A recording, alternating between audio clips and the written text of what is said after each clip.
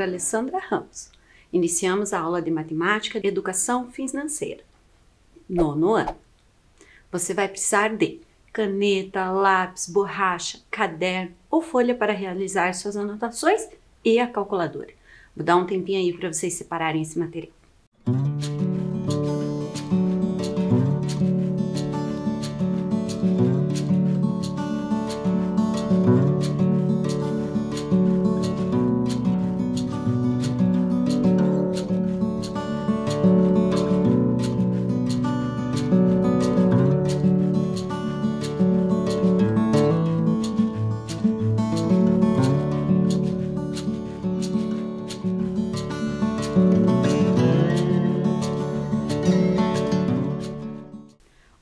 Na aula anterior? Resolvemos problemas analisando vantagens e desvantagens em situações de compra, na valorização do dinheiro e no consumo consciente e sustentável. Compreendemos, utilizamos e calculamos porcentagens, juros simples e compostos. Anotem lá a data de hoje, educação financeira. Vou dar um tempinho para vocês.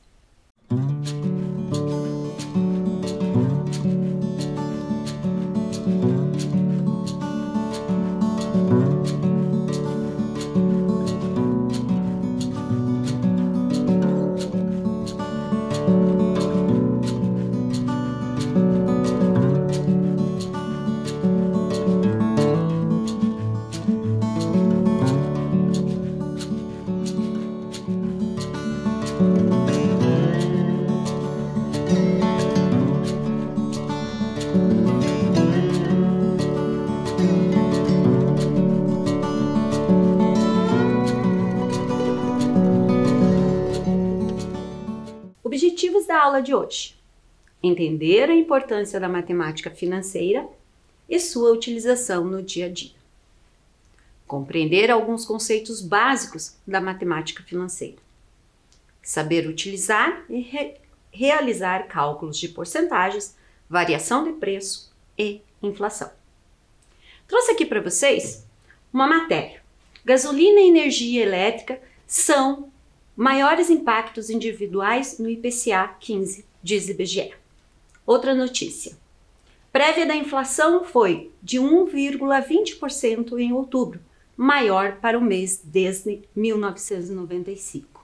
No conteúdo da segunda matéria, traz a seguinte informação: a gasolina, componente com maior peso do IPCA 15, em outubro subiu 1,85% e acumula 40,44% nos últimos 12 meses. Conhecendo um pouco mais sobre esse IPCA, que foi citado, o Sistema Nacional de Índices e Preços ao Consumidor produz de forma contínua e sistematicamente índices de preços ao consumidor. O IPCA tem por objetivo medir a inflação de um conjunto de produtos e serviços comercializados no varejo, referentes ao consumo pessoal das famílias. Trago para vocês, vocês vão me acompanhar, um vídeo sobre o que é inflação. Inflação é o aumento generalizado de preços. Se você vai na feira e o tomate está três vezes mais caro numa determinada semana, isso não é necessariamente inflação. Pode ser resultado de chuva demais, praga na lavoura ou problema de transporte no tomate. Agora, se além do tomate subiu também o preço do arroz, da gasolina, da mensalidade escolar, do aluguel, aí sim nós temos inflação. É quando sobe o nível de preços médios da economia. Existem dois tipos de inflação, a de oferta e a de demanda. A inflação de oferta também é chamada de inflação puxada por custos. Ela acontece quando os preços de matérias-primas básicas, como eletricidade ou a gasolina, crescem.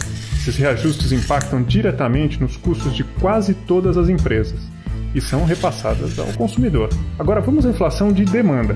Se a economia vai bem e todo mundo quer trocar de carro, por exemplo, é possível que as montadoras não deem conta da demanda. Com muita procura e pouco carro no mercado, o resultado é o aumento do preço.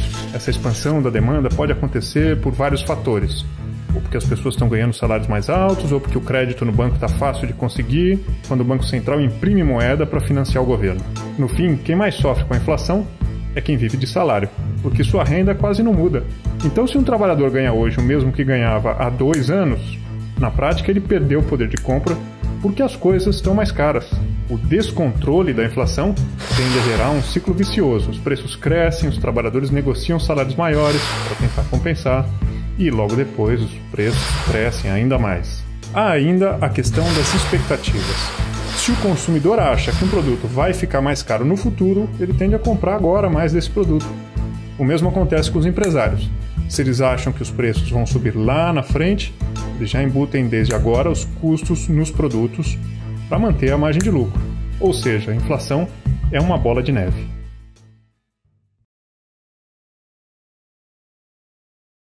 Aí, de acordo com o vídeo que a gente, vocês acabaram de assistir, como que a gente pode definir inflação? É o termo utilizado em economia para falar da alta dos preços de um conjunto de produtos e serviços em um determinado período. O que pode gerar inflação?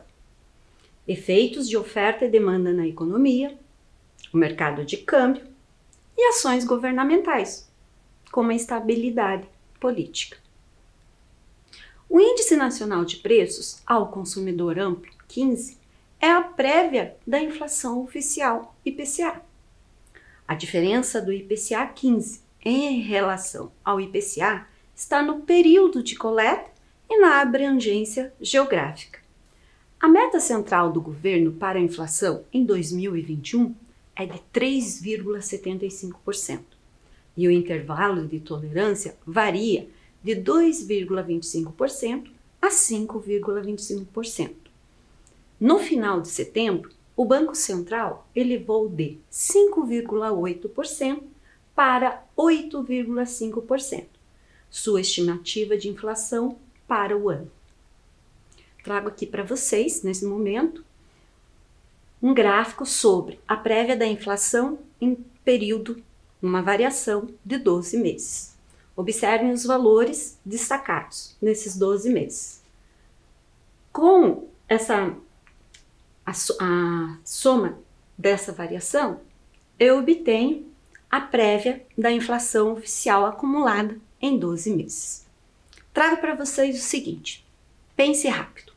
Observando o gráfico ao lado, podemos dizer que a estimativa do Banco Central de 8,5% de inflação para o ano de 2021 está dentro da realidade atual? Vou dar um tempinho aí para vocês.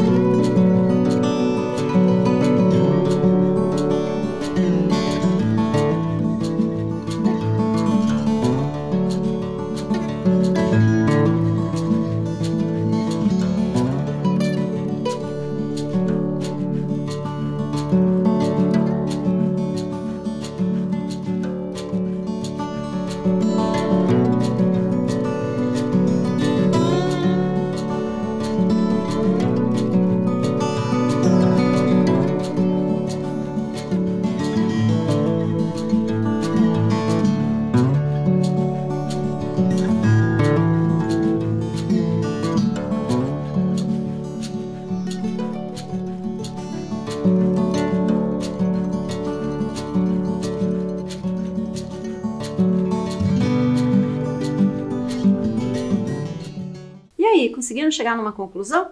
Então eu vou te dizer o seguinte: se você respondeu sim, você está certo. Se você respondeu não, você também está certo. É, como? Sim e não. Seguinte, vamos voltar na tela anterior. Tela anterior, eles tinham uma meta, né, inicial de 3,75. e tem uma margem de erro. Essa margem de erro é de 1,5 para cima ou 1,5 para baixo. Então, o máximo de pico que eles poderiam, o máximo que eles estavam prevendo de inflação era 5,25. Aí, em setembro, o Banco Central resolveu reavaliar esses, esse, esse, essa variação da inflação. Então, ela já não, partiu, ela já não partiu de 5,25%, ela já partiu para um superior, a previsão máxima com a margem de erro, para de 5,8%, né? E subiu para 8,5%. Aí eu tenho que considerar esse 8,5% com esse margem de tolerância, 1,5 para cima e 1,5 para baixo. Então, considerando essa tolerância 8,5 mais 1,5 para cima, daria quanto? 10. Mas 10 seria próximo a esse valor. Então, se você respondeu sim, ok. Mas por que não, professora? Porque a previsão da, da média acumulada até o final do ano será de 12 ou mais por cento de inflação. Atualmente, a população objetiva do IPCA abrange as famílias com rendimentos de 1 a 40 salários mínimos, qualquer que seja a fonte, fonte de renda, residentes nas áreas urbanas das regiões de abrangência do Sistema Nacional de Índices de Preços ao Consumidor. O que mais subiu no mês? Eu trago essas informações para vocês que foi, foram publicadas dia 26 de outubro de 2021. E junto com ela, eu trago o seguinte questionamento. Mais rápido, hein? Com a alta da inflação nesses últimos meses, que itens mais impactaram no orçamento de sua residência? Troca uma ideia aí com seus familiares. Vai um tempinho para você.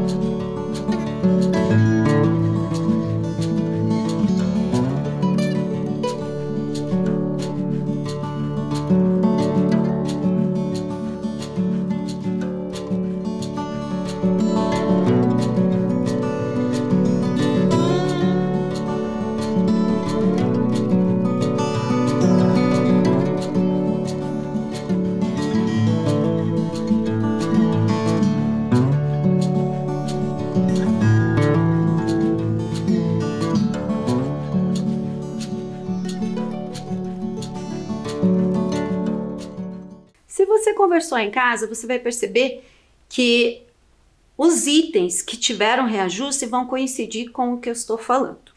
Desses nove grupos apresentados, veja, eu não usei o termo itens, nove grupos. Por quê? Dentro desse grupo aqui, por exemplo, habitação, entra diversos itens. Então, quando eu perguntei para vocês, vocês geralmente vão, vão se indagar o seu familiar, conversar em casa e você vai perceber que o que ele está citando não são grupos, mas sim itens. Então vamos verificar que itens que tiveram essa alta. A energia elétrica foi o destaque no grupo habitação. Olha lá, grupo habitação. Ela é só um de inúmeros itens na habitação, no grupo da habitação.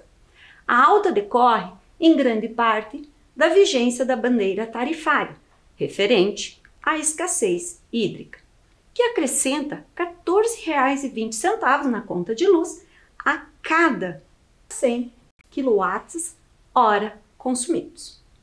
Outro item, o resultado do grupo transportes. Olha lá o termo, grupo transportes. Item Então, eu, de inúmeros itens, eu estou falando um relacionado aos transportes. Foi influenciado pela alta dos combustíveis. A gasolina foi o subitem que exerceu o maior impacto individual do mês no IPCA 15. O modo que o governo administra os recursos públicos também pode gerar uma pressão no preço dos produtos e serviços. E como controlar essa inflação? Alta eleva taxa de juros ao maior nível em quatro anos. Então, uma, uma das saídas é subir os juros, a taxa Selic.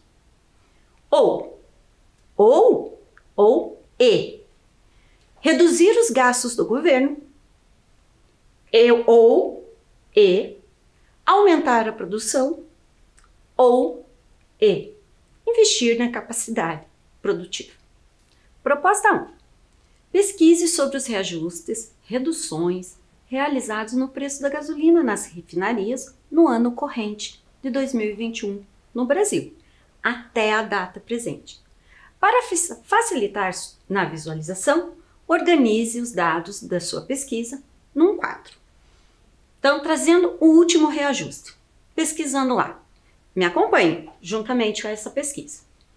O que, que, que dados eu tenho? Eu tenho assim, que o anúncio foi feito dia 25, o reajuste passa a vigorar dia 26, que o, o, o preço na refinaria era R$ 2,98, R$ 2,98, passa R$ 3,19 e o litro da gasolina subiu 7,04%. Vou pegar esses dados e vou colocar na tabela. Anúncio, anúncio e a efetivação. Então, 25 de 10, a efetivação seria quando que eu, a partir de quando que o reajuste poderia acontecer? Seria na data seguinte. O reajuste de 7%, observe que eu não coloquei o símbolo por cento do lado de 7, mas por quê? Porque está lá em cima, ó, porcentagem.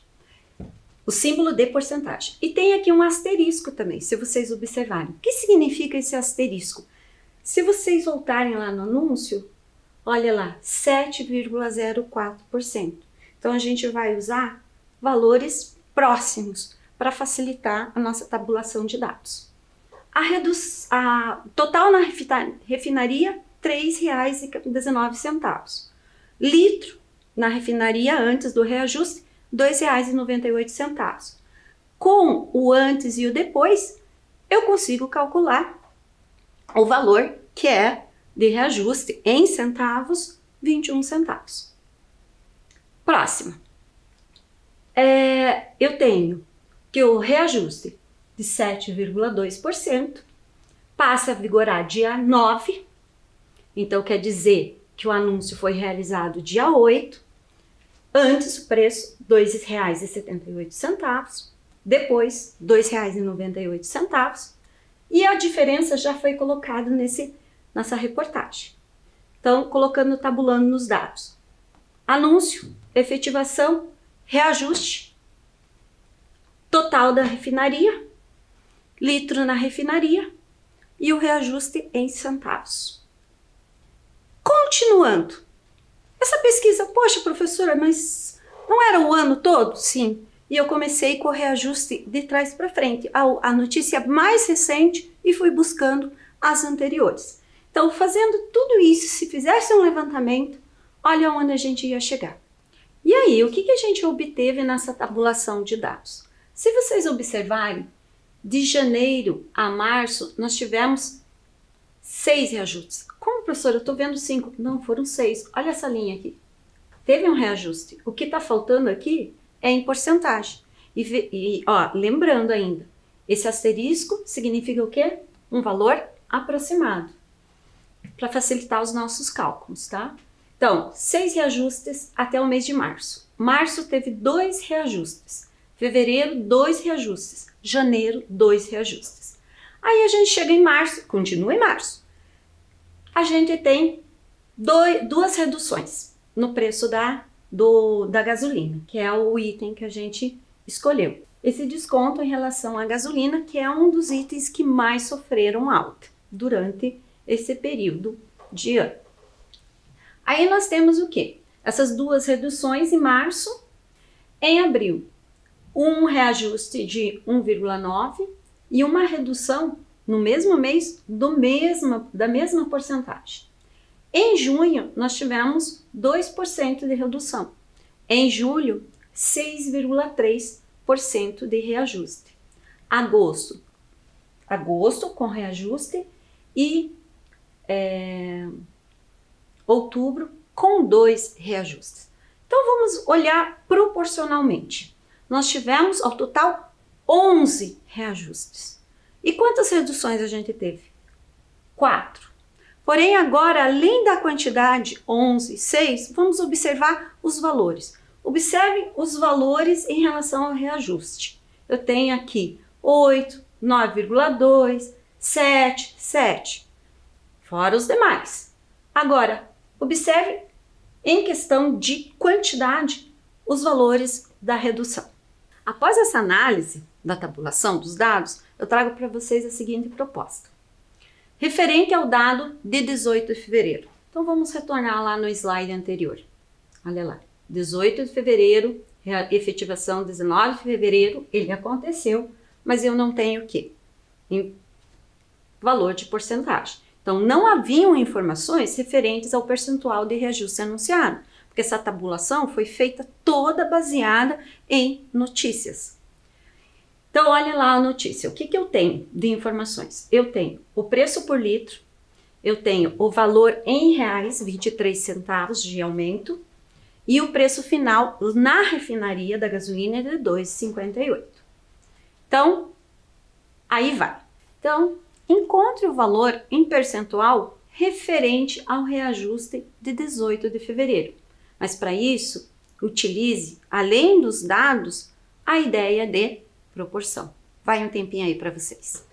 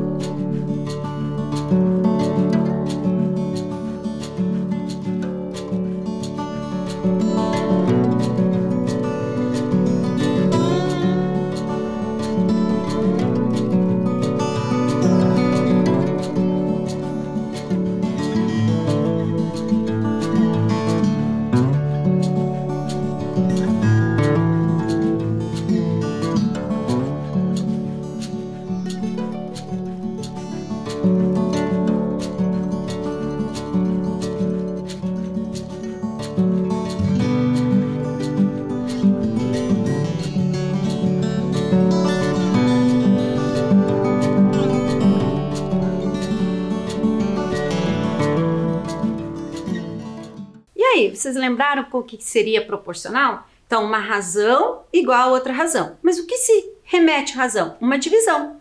Então, eu tenho aqui é, 2,25 dividido por 0,23. Razão. Igual a 100 dividido por x. Fazer a multiplicação das extremidades. Então, eu vou ter 23 centésimos multiplicado por 100. Como que eu faço 23 centésimos multiplicado por 100? Aqui não tem duas posições? Então, a vírgula anda para a sua direita duas posições. Eu passo a ter 23 inteiros. Agora, usando, é uma equação de primeiro grau, usando operações inversas, o 2,25 que está multiplicando minha, minha incógnita, que representa a porcentagem, passa para o segundo membro, dividindo. Usando a calculadora, o que, que nós temos? Aproximadamente 10,2% representa a porcentagem a, em relação ao reajuste do dia 19 de fevereiro. Na data de 25 de 10 de 2021, um determinado posto de combustível localizado no bairro Uberaba, no município de Curitiba, Paraná, estava revendendo o litro da gasolina comum pelo valor de 5,999. Após o anúncio da Petrobras, pontualmente às 13 horas, o valor no letreiro passou a anunciar o valor de 6,099. Pense rápido. Qual foi o valor do reajuste em reais naquele momento? Vou dar um tempinho para vocês.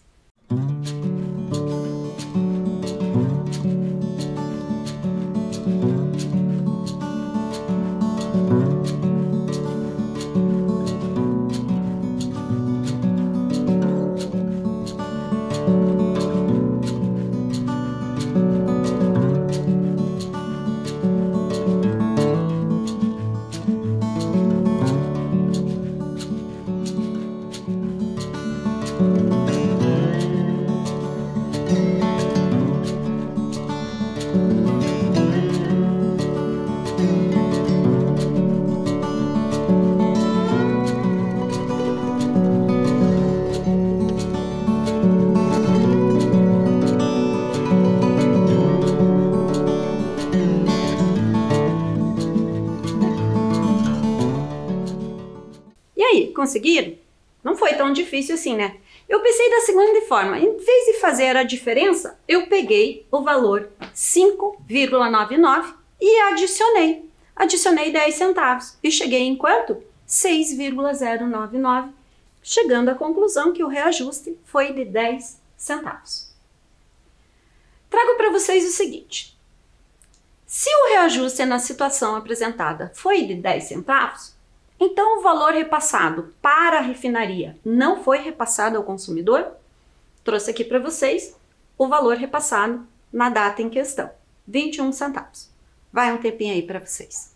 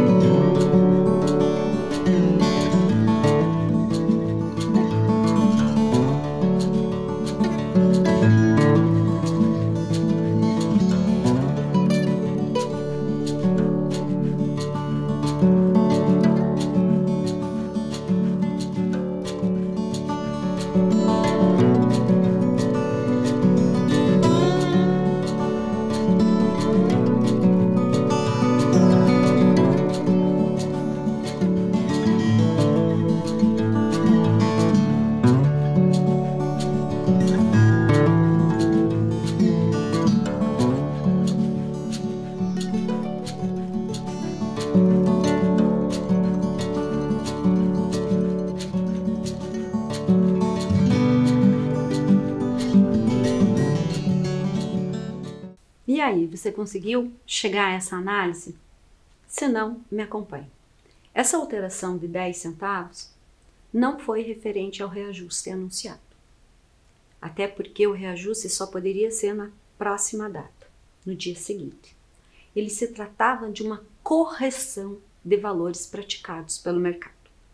Porém, a percepção para o consumidor não é de correção, já que pesa diretamente em seu bolso.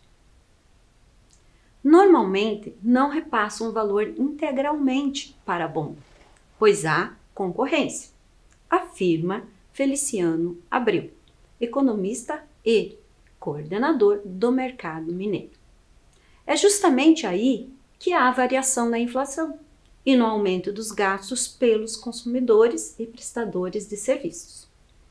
Ao contrário do diesel, que também sofreu aumento nesta leva, a gasolina interfere e muito nas taxas de inflação. Proposta 3. Considere um profissional que se desloca 75 km utilizando um veículo flex para chegar ao trabalho. O deslocamento é realizado pelo período de 5 dias semana. Considere que esse veículo faz uma média de 9 km por litro. Qual é o impacto financeiro para o consumidor final da gasolina após o último anúncio de reajuste em um período de 15 dias? Então, explorando esses dados, eu tenho o custo que corresponde ao quê? Ao litros do período vezes o preço do litro. Então, inicialmente, a gente nós precisamos saber quantos quilômetros são rodados por um período de 15 dias. Ah, pela informação dada no enunciado, se roda 75 quilômetros por dia. Só que, observe o seguinte, eu não multipliquei por 15. Como assim você não multiplicou por 15? Não é 15 dias o período? Vamos voltar lá na tela inicial. Disse o quê? Que o deslocamento é realizado pelo período de 5 dias por semana. Então significa que nesse período de 15 dias, que é duas semanas, ele vai rodar 10 dias, totalizando 750 quilômetros nesse período de 15 dias. Na sequência, necessitamos, saber quantos litros de gasolina são utilizados nesse período. Então, 9 km por litro significa o quê? Para cada litro de gasolina se roda 9 km. Ué, de onde você tirou essa informação? Novamente lá do enunciado. Lembra que eu falei que a gente ia explorar as informações?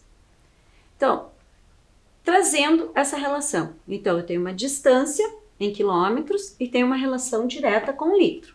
Então, 9 quilômetros eu utilizo 1 litro. Então, para 750 quilômetros, quantos litros eu utilizo? Então, usando proporção, encontro quantos litros eu necessito. Vai um tempinho aí para vocês.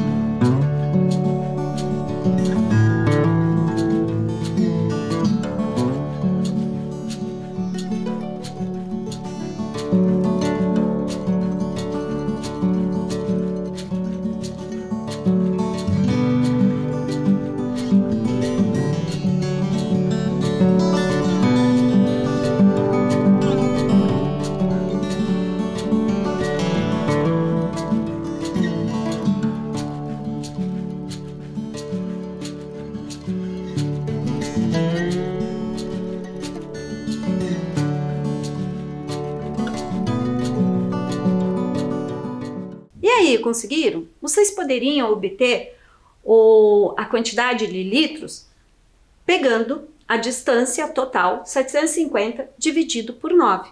Poxa, era só fazer isso? Sim, mas da onde sai essa relação 750 dividido por 9? sai dessa relação de proporção. Se você multiplica lá, ó, razão igual a razão. Eu não escrevi propositalmente, a gente fez na anterior. Então imagina uma fração igual a outra fração. Essa fração está representando a minha razão. Multiplica os extremos. Eu vou ter 9x e vou ter 750 dividido por 1. Ué, mas você não falou que era 750 dividido por 9? Não é uma equação do primeiro grau? Isola a incógnita. O 9 que está multiplicando vai para o segundo membro dividindo. Olha lá, 750 dividido por 9. Então você precisava necessariamente utilizar isso daqui, a tabela? Não, você podia fazer ah, essa proporção mentalmente. Então, utilizando agora a calculadora para calcular, para agilizar os nossos cálculos de 750 por 9, nós obtemos 83,3, que é aproximadamente 83,4 litros. Aí nós voltamos naquilo, custo igual a litros pelo período vezes preço do litro. Então, o que nós necessitamos agora? O preço do litro. Em 27 do 10, no mesmo posto de combustível citado anteriormente, após a efetivação do reajuste anunciado pela Petrobras, o valor no letreiro passou a anunciar R$ 6,00. R$ 6,399. Então, nessa relação, o que nós temos? Antes do reajuste, a gente vai precisar do valor antes do reajuste, depois do reajuste e o, a quantidade de combustível, neste caso, de gasolina, utilizado nesse período de 15 dias. Então, vai um tempinho aí para vocês.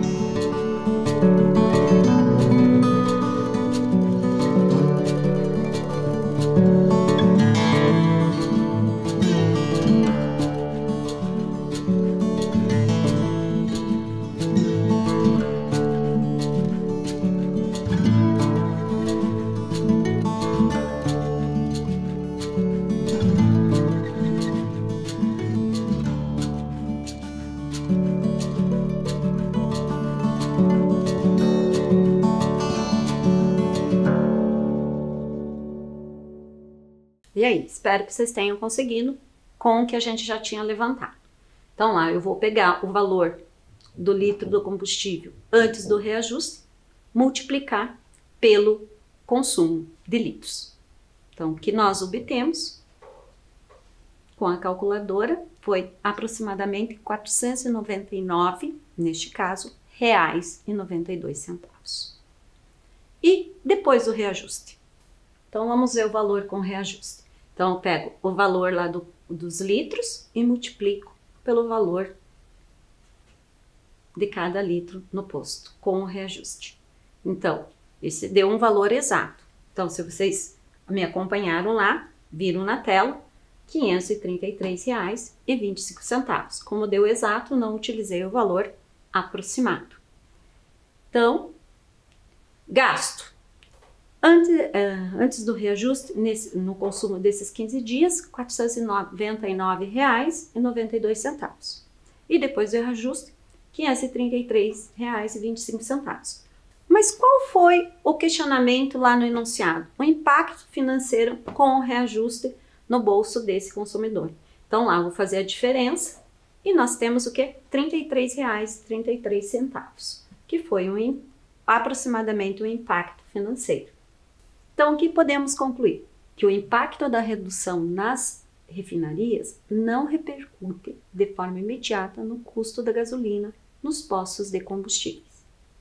Assim, os valores praticados nas refinarias pela Petrobras são diferentes dos percebidos pelo consumidor final no varejo. O que vimos hoje? Resolvemos problemas analisando vantagens e desvantagens em situações de compra, na valorização do dinheiro e no consumo consciente e sustentável. Compreendemos e calculamos porcentagem e realizamos um estudo sobre inflação e seus impactos. Até a próxima!